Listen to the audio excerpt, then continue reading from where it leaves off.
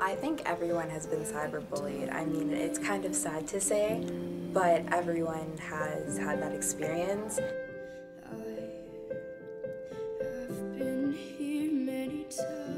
Someone is hurting someone else's feelings, and two, it's them being fake. Back when I was in grade 12, there were a group of students who had made a private Facebook group.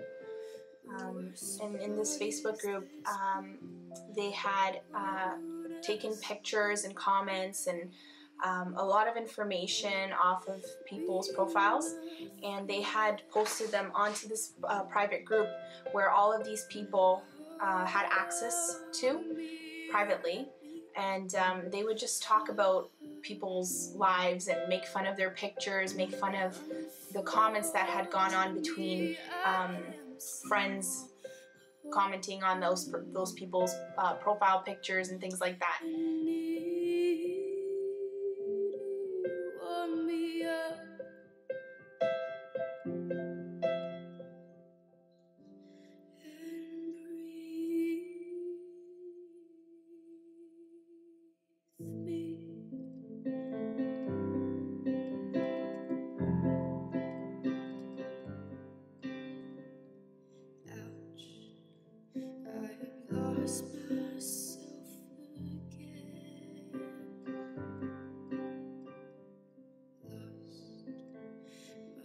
My best friend, she had lost her father that year, and um, due to the stress and the grief and the hardship that she was going through, she had actually gained some weight.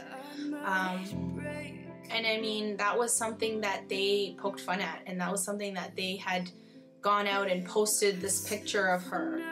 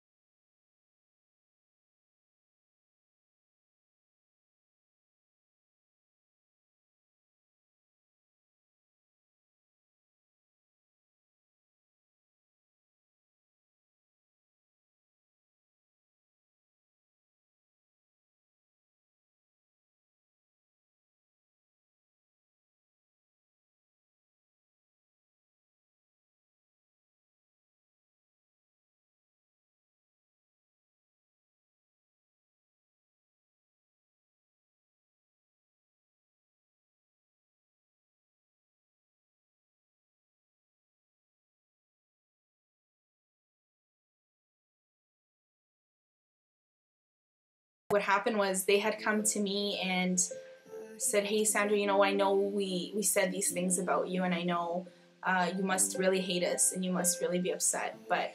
Um, we know how you are. We know you're a good person. We know that you're a peaceful person. Uh, so please, can you speak to these other people and tell them to just accept our apology and to not, um, you know, just to back off and leave us alone because we made a mistake.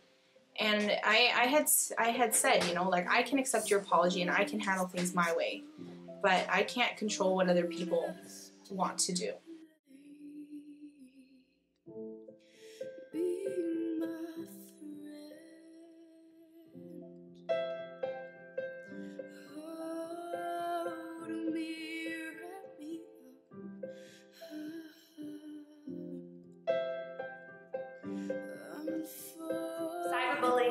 Does not define you. You define yourself.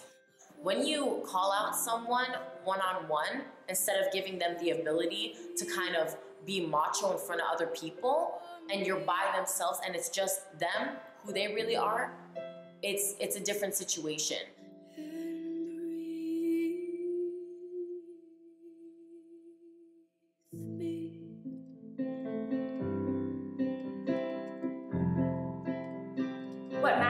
Is what you think about yourself, and what matters is how you feel about yourself. And if you feel that you know you don't, you lack self-love, then work on that. Cyberbullying and the bad effects of social media. It's it's nothing to be afraid of because social media is a good tool. Like Twitter, Facebook, Tumblr. You connect with people around the world. It will get better.